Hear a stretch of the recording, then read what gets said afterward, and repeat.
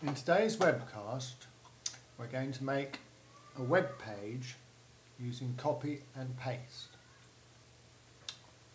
Here you can see two icons of the sun. The one on the left changes to show the weather in London. So if it's rainy, it'll turn into a rainy icon, or if it's snowing, there'll be snow. The one on the right is always just stays sunny. Right, we're using a browser called Amaya. To make a new web page, we go File, New, New Drawing. Create, and that's our new web page. And go back to our old one. I'm going to use the one on the left, one that changes. I'm going to select it by clicking on it.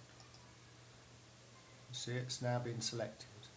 Edit, copy, go to our new web page, click in it, edit, paste.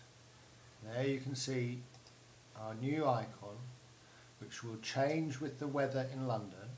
When you click on it, it will take you to the BBC website.